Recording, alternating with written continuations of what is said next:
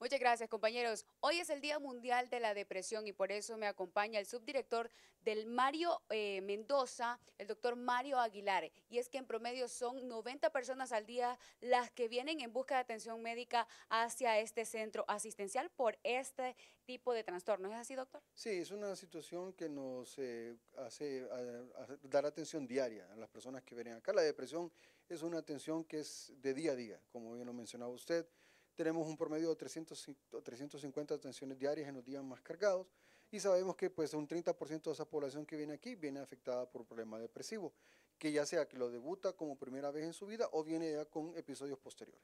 ¿Cuáles son los síntomas para que la gente esté atenta para ver si los padece o alguno de sus familiares? Hay tres síntomas cardinales. Uno es el ánimo triste, pero no es la tristeza usual cuando yo tengo una mala noticia o algo que me preocupa, sino que es una tristeza que dura más de dos semanas de forma continua se agrega a esto fatiga, una fatiga que hace que la persona se extenúe y no pueda funcionar, sumado también a la falta de motivación y deseo. Se empiezan a complicar otras áreas como el sueño, ya sea insomnio o mucho sueño, problemas de apetito, que aumento o disminución del mismo, problemas de concentración, memoria, ideas negativas que empiezan por ser ideas de preocupación extrema, desesperanza, pesimismo, llegando a complicarse en los estadios graves con las ideas de muerte y las de suicidio, que es una situación que nos está afectando grandemente en este momento en, en nuestro país y en el planeta.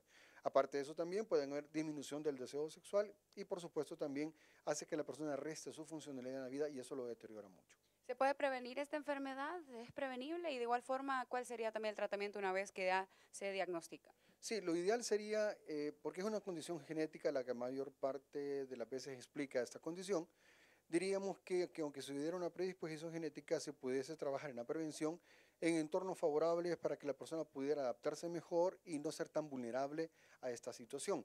Obviamente estamos hablando de un trabajo que va desde las estimulaciones, desde el prenacimiento, de los estados prenatales, y desde la infancia temprana y en adelante, ¿verdad? Que un trabajo en la comunidad, en la sociedad, para procurar unas sociedades más sanas.